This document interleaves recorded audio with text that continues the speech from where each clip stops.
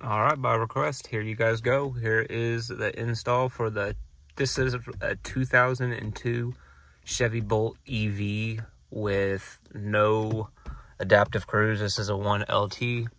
Um, people want to know how to install it, how to do everything. Here's how you remove this housing if you're if you're driving the EV.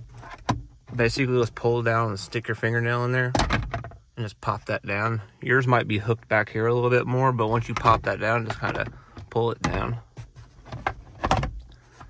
And if you see right inside here, those little tabs, push that little tab over and down. Like pull on this while you push that up. Push that tab to the side, pull it down, boom. And this will just pop right off.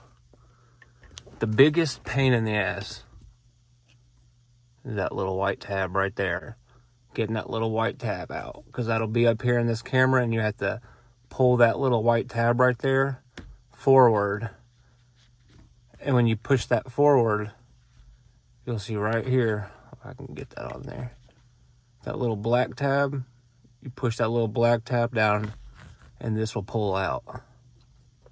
The easiest thing I can say to do for this, right there on the edges, those little tiny tabs, bend those out to the side, cut those off, whatever you want to do, it's up to you.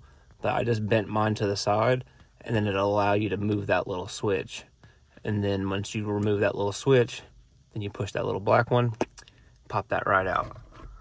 Once you get that popped out, you're just going to plug that into your harness for your comma. And if you want, you could push a little tab back in or remove that tab. I'm thinking about just cutting mine out, like I said. Um, so you connect that. Once you connect that, you're going to have a matching one on the other side of your harness.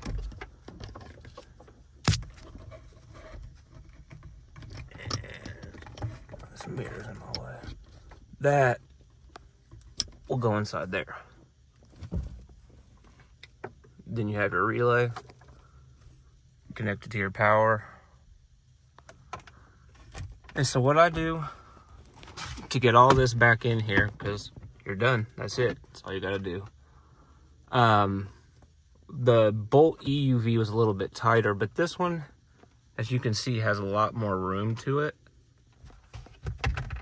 So what I do is I just left my relay like out here like this in the open.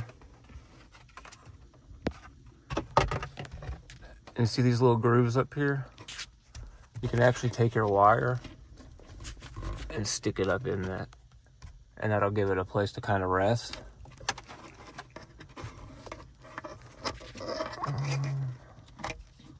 I'm gonna wrap this.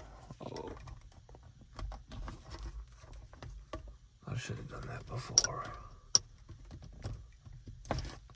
So I'm gonna wrap this around like that. No, yeah, actually I will. And then plug this in.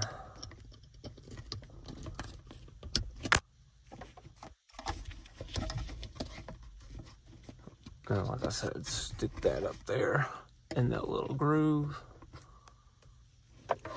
And then now all you got is this sticking out right here.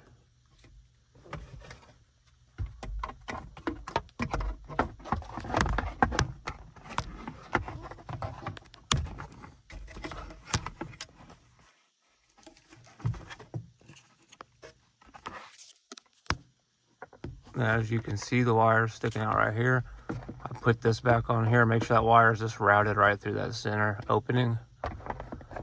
And put the, line up your housing. Push on the back, slide it forward. Lock it all into place. And as you can see, here's everything now. And now you can just take your wire and tuck it back in that big opening. There's a big opening back there.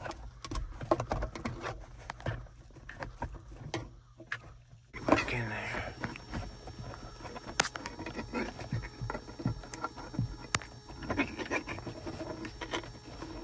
And I like to leave my relay just sitting out like this.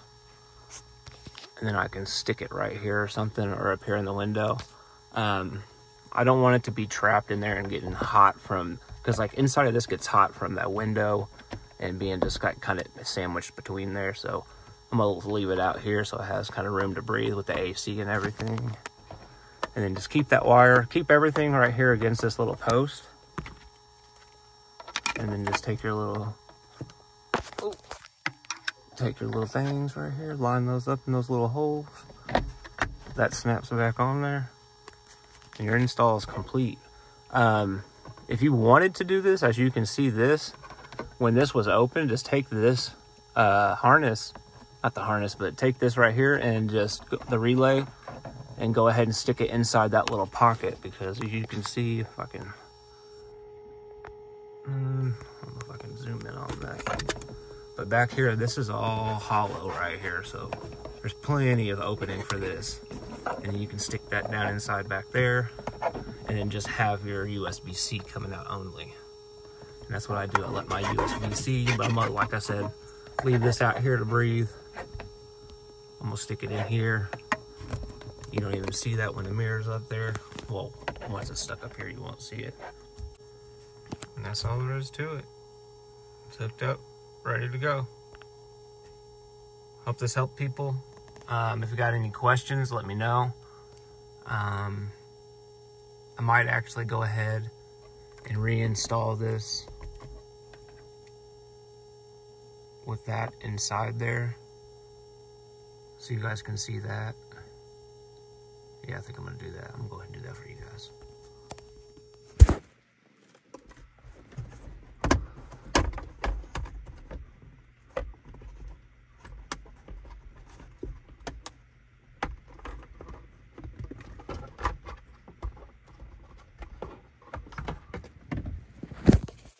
As you can see, it was that quick and simple just to get it all apart.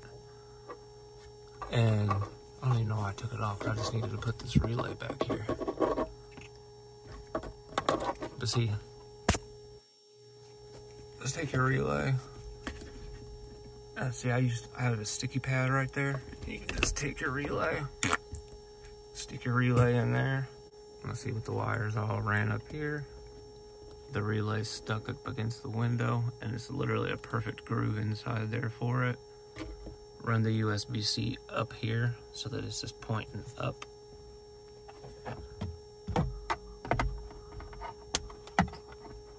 Place this. There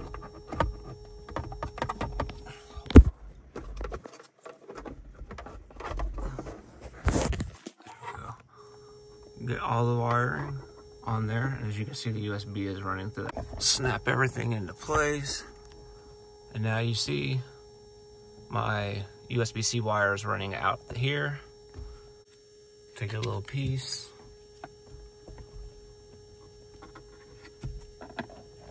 Place that in there. Bam. And just like that, see? USB-C is the only thing sticking out. Everything else is inside there. Plug in your comma 3 mount it in the window.